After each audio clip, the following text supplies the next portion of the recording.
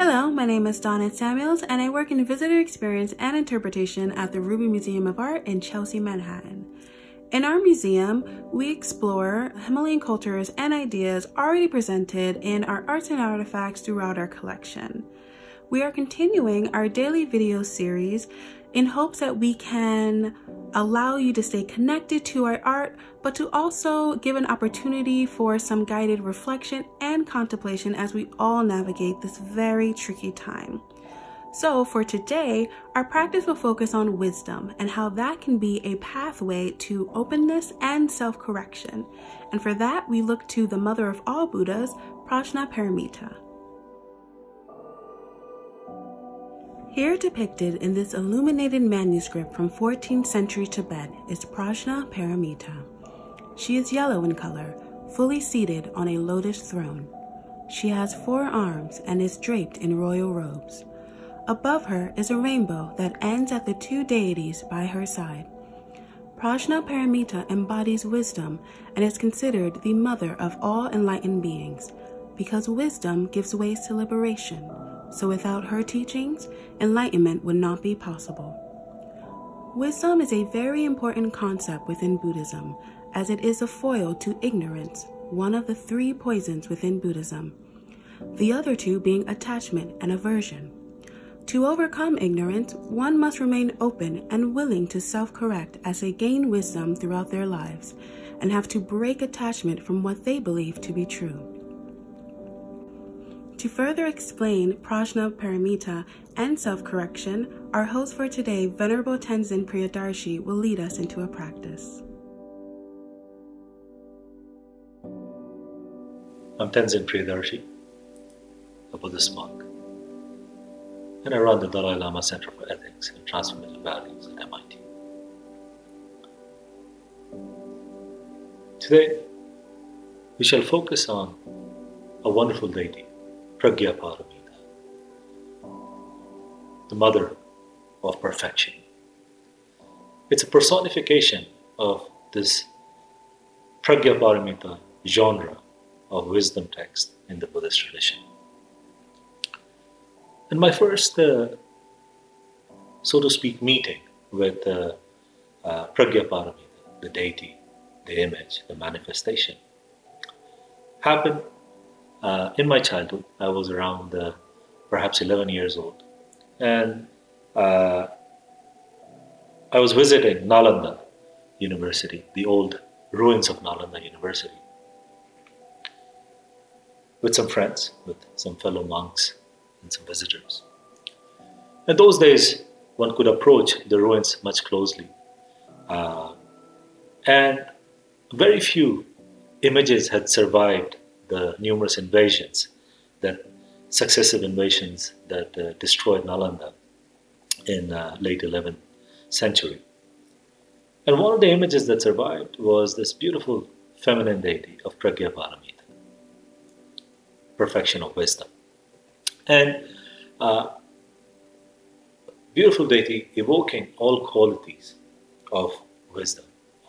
truly uh, a wonderful personification, manifestation of this.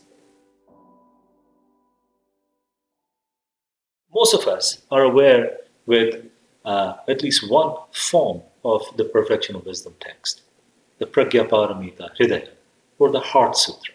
The Heart Sutra is uh, frequently recited in many Buddhist traditions uh, across uh, India, Tibet, Japan, Korea, to the point that the Heart Sutra has taken a life of its own.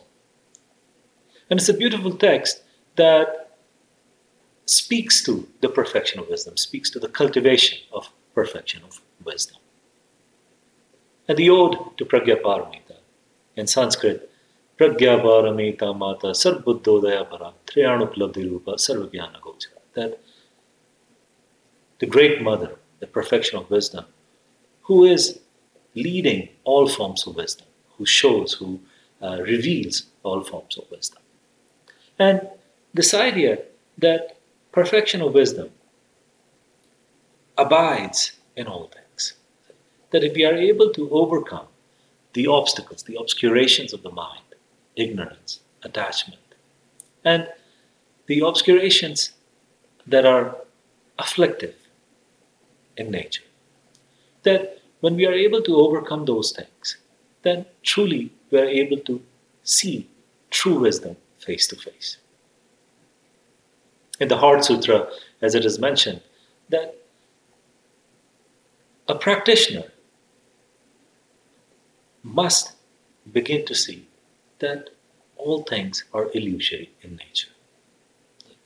By illusory, it does not just mean that they don't happen, that they don't exist. It simply implies that oftentimes the way we think they exist or the way we think they should exist, that is not the case. So, Pragya Paramita is a beautiful encouragement that we must learn to continue to be curious, but at the same time, learn to self correct. Self correct in the sense that we should not give in to ignorance. And ignorance are of two forms primarily. One is simply not knowing of something, a benign form of ignorance.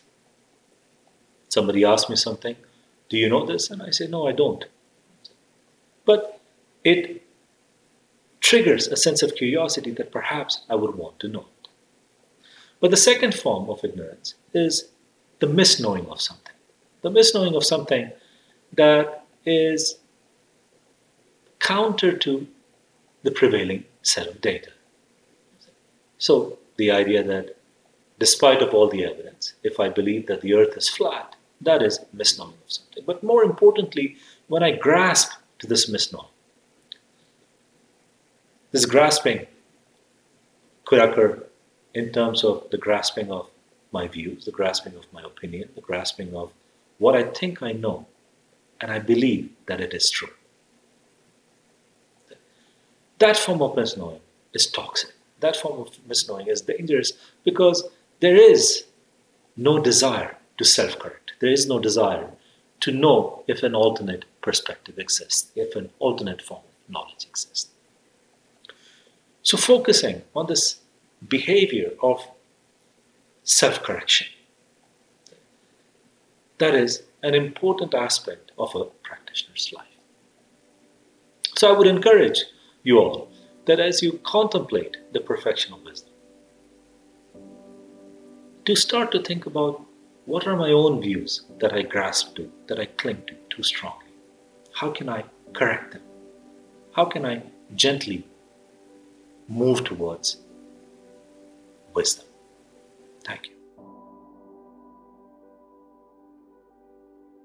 Recently penned down some aspects of my life, my learnings, my meeting with tremendous individuals whom I have been fortunate to call teachers and virtuous friends and spiritual friends.